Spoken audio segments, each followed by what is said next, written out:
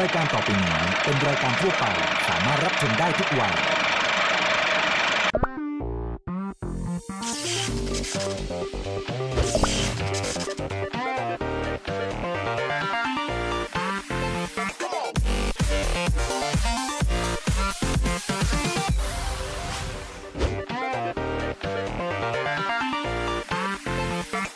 นับสนุนโดยผลิตภัณฑ์ผลไม้ fruit spread และน้ำเชื่อมแต่งกลิ่นตรา Nature Taste สเต็กเต้าหู้ของเราจะเป็นลักษณะเป็นคล้ายๆ กับเต้าหู้ทอดแล้วกันค่ะสลัดต้นหอมกับเนื้อย่างก็เข้ากันดีดีอะเต้าหู้ไปเถอะๆโจทย์เราเพื่อสุขภาพนะวันเนี้ยอ๋อโอเคฮะสวัสดีครับคุณผู้ชมครับ เราพบกันอีกแล้วกับรายการเต็มปากเต็มคำนะครับ พบกับคุณผู้ชมเป็นประจำทุกวันศุกร์บ่ายสามโมงครึ่งทาง Workpoint ช่อง 23 นะครับ เต่ปากเต็มคำนะคะ จะมีวัตถุดิบอยู่หนึ่งตัว อาจารย์นี่ฝากทำหนึ่งเมนู นานาเท็ดดี้ เราสองคนเป็นอะไรนะ กูรูอาหารสายแฟชั่น จริงหรือเปล่าทำไมพูดแล้วคุณต้องขยิบตา เย้ายวน ก็จะทำอีกหนึ่งเมนู ใช่ครับ โดยวัตถุดิบของเราเนี่ยจะเปลี่ยนทุกสัปดาห์ ใช่ แต่มั่นใจว่าไม่ว่าจะเป็นในสไตล์ของอาจารย์นิ่งศักดิ์หรือว่าที่ดีนานาเนี่ย อร่อยน่ากินทั้ง2เมนูเลย ค่ะ ตัดผมใหม่ให้ดูเจียวฟ้าวนะ คุณไม่ได้สาระจากรายการเลยอะ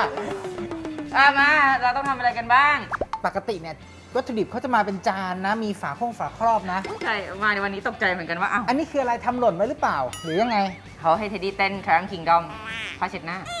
โอ้นี่ผ้าเช็ดหน้าเหรอเนี่ย ผ้าเช็ดตัวแล้ว ตัวเล็กขนาดนี้เลยเหรอ อืมอะเปิดเลยดีกว่าครับมา มันดูเบาๆเนาะมันดูไม่มีอะไรเลยคจะรับอิ่มไหมอะถ้ามีโอกาสสักครั้งหนึ่งนะแบบข้างในไม่มีอะไรเลยแล้ว คุณอยากทำอะไรทำไปอะไรเงี้ยแล้วเขามีอะไรในครัวให้เราบ้างเอางี้ก่อน ก่อนที่จะบอกอยากทำอะไรทำไป อะเปิดดีกว่าว่าเขามีอะไรให้เรา ต้นหอม ตายตาย จะทำอะไรล่ะ มาโรยแกงจืดเหรอคะ หรือว่าโรยข้าวผัด โอ้ยโจทย์อะไรก็ไม่รู้นะโถ่เอ้ยไม่กินอะกินเชอรี่ชอบกินไหมอะไม่เลยเนาะเนอะเปลี่ยนได้ไหมคะ อาจารย์ทำอะไร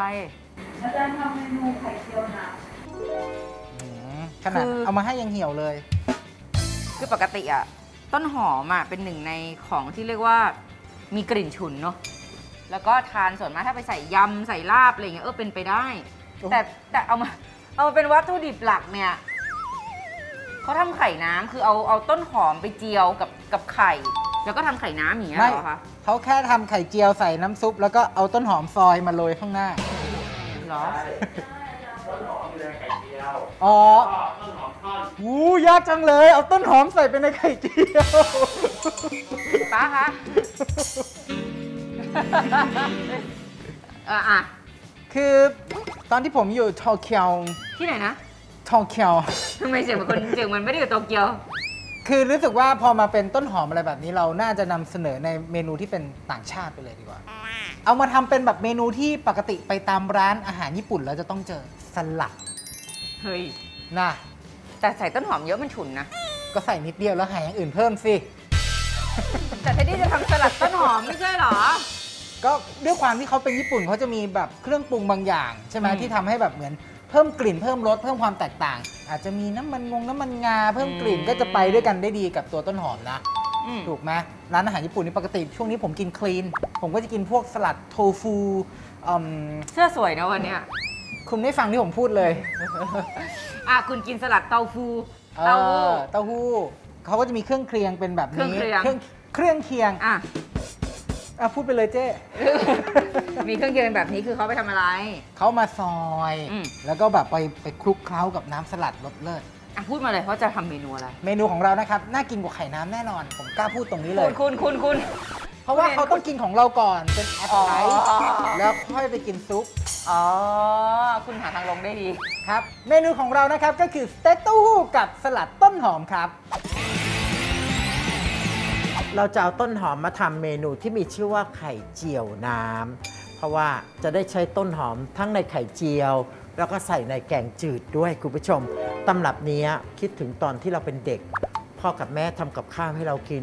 เมนูง่าย ๆ อย่างไข่เจียวน้ำเนี่ยก็ทำให้เรามีชีวิตรอดมาได้จนถึงทุกวันนี้ ใครลืมไปแล้วบ้างว่าเมนูนี้ทำยังไง เดี๋ยววันนี้เรามารื้อฟื้นกันนะครับ เราเริ่มต้นด้วยการต่อยไข่ไก่ลงไปในชำอ่างก่อน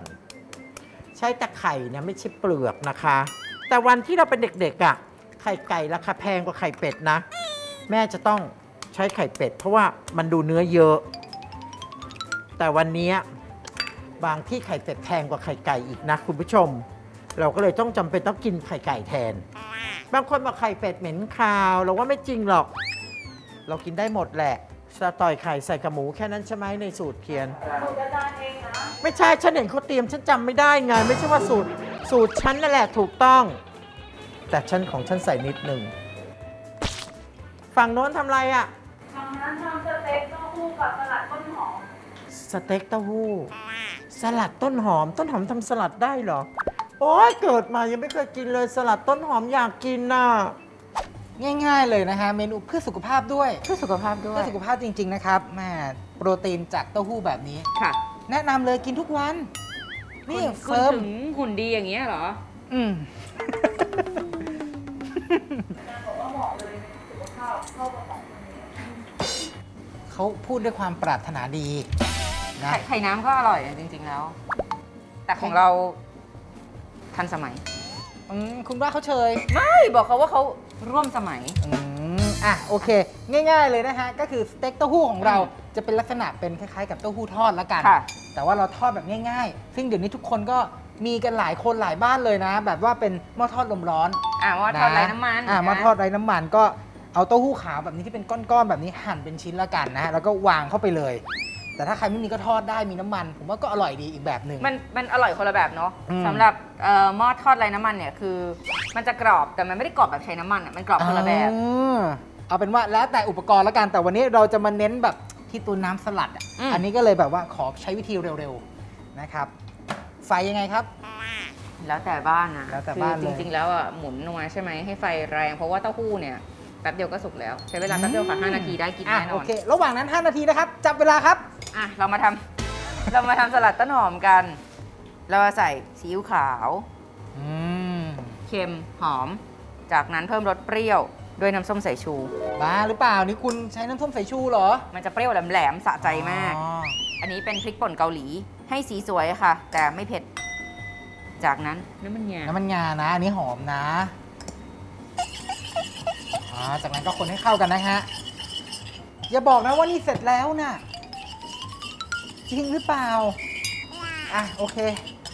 อะไรจะง่ายขนาดนั้น อะหลายคนถามว่าเมื่อกี้ต้นหอมที่วางอยู่ มาเป็นแบบนี้ได้ไงครับอาจารย์นานาครับ เอ่อล้างให้สะอาดครัเวบลาล้างต้นหอมตัดรากออก ตัดรากออก แล้วก็ซอยเป็นเส้นแช่ในน้ำเย็นเขาก็มันจะมาหดๆอย่างนี้ได้ไงอะแช่ในน้ำเย็นเขาก็เป็นแบบนี้นี่คุณรู้ไหมตรงเนี้ยเยอะมากเลยนะ เออนี่คือหลายกรรมนะใช่หลายกรัมจากนั้นเนี่ยนะคะ เราก็จะไม่แบบใช้แรงอะไรกับเขาแล้วเราแค่ค่อยๆคลุกเคล้า ใช่เพราะว่าเดี๋ยวจะช้ำเราอยากให้เนี่ยตัวน้ำสลัดของเราเนี่ย เข้าไปอยู่ในตัวต้นหอม คือสีขาวๆจะฉุนกว่าสีเขียวสีขาวๆคือๆคือตตรรงงโคนโคน่ะนจะฉุน แล้วคืออร่อยมากถ้าเกิดสมมติวันนี้คุณไม่ได้กินคลีนเผอิญว่าโต๊ะข้างๆ คือ เพื่อนร่วมห้องครับกินเนื้อย่างจะเอ่บออกขคุอณว่าเนื้อย่างเข้ามาแนมกับอันนี้จะดีใช่ไหมฮะสลัดต้นหอมกับเนื้อย่างก็เข้ากันดีดีอะเต้าหู้ไปเถอะๆโจทย์เราเพื่อสุขภาพนะวันเนี้ยอ๋อโอเคฮะ อืม มีเคล็ดลับในการเจียวไข่จะบอกคุณผู้ชมสำหรับของตัวเองนะ จะไม่ตีไข่ไว้นานวางไว้จนกระทั่งใสโจ๊ก แล้วค่อยเอาไปเจียว คนๆเสร็จเจียวเลยสำหรับเรานะคุณผู้ชม เพราะฉะนั้นตอนนี้ก็ต้องเริ่มต้นด้วยการเปิดเตาไว้ก่อน แล้วก็ให้กระทะนี่เริ่มร้อนๆไว้ก่อน ในระหว่างนี้นะคะคุณผู้ชมใส่ไข่ลงไปกับซีอิ๊วขาวหรือน้ำปลานิดนึง แล้วก็หมู เป็นหมูบดติดมัน หมูหยาบๆไม่ต้องบดละเอียดมาก แล้วก็นี่อย่าเพิ่งไปตีมันคุณผู้ชม เนี่ยใช้ช้อนบี้ๆให้หมูเนี่ยแตกก่อน บางคนเนี่ยตีคนใหญ่เลย ไข่หมดสภาพความเป็นเจลเป็นวุ้น อันนั้นนะทำให้ไข่ไม่จับอากาศ แล้วไข่ก็จะไม่ฟูคุณผู้ชม อันนี้วางอย่างนี้นะเนี่ยคุณผู้ชมใสๆแบบนี้ยังไม่ตีนะ ยังเห็นไข่ขาวอยู่อะใส่น้ำมันลงไปในกระทะ เจียวไข่อย่าเสียดายน้ำมัน นี่ ให้กระทะร้อนๆก่อนนะคุณผู้ชมใจเย็นรอแป๊บเดียว บางคนบอกเจียวไข่นะ ต้องใส่ตอนน้ำมันเย็นๆ เสร็จแล้วก็ค่อยๆเร่งไฟแล้วมันก็จะฟูฟูฟูอันนั้นน่ะทำให้ไข่ตรงส่วนที่ยังไม่โดนความร้อนมากกระด้าง แต่ตรงส่วนอื่นจะฟูขอบขอบๆสำหรับเราเราชอบใส่ลงไปทีเดียวฟูเลย บางคนใส่ลงไปในน้ำมันท่วมมากไข่ฟูเป็นฟองฟ่อง แล้วก็ตลบตลบ อันนั้นก็จะได้ไข่กรอบ เพราะฉะนั้นแล้วแต่คุณผู้ชมเลือกเอานะ อันนี้แบบนี้เห็นไหมคะคุณผู้ชม เออจะใส่ต้นหอมแล้วนี่ตามโจทย์เลยซอสพริกราดคลุกข้าวสวยจบที่เห็นว่ามันขาดขาดรุ่งริ่งเพราะหมูเยอะนะคุณผู้ชมนะ แต่ถ้าไม่สุกก็ไม่เป็นไรเดี๋ยวใส่น้ำซุปไปมันก็เดือดมันก็สุกหมดแหละ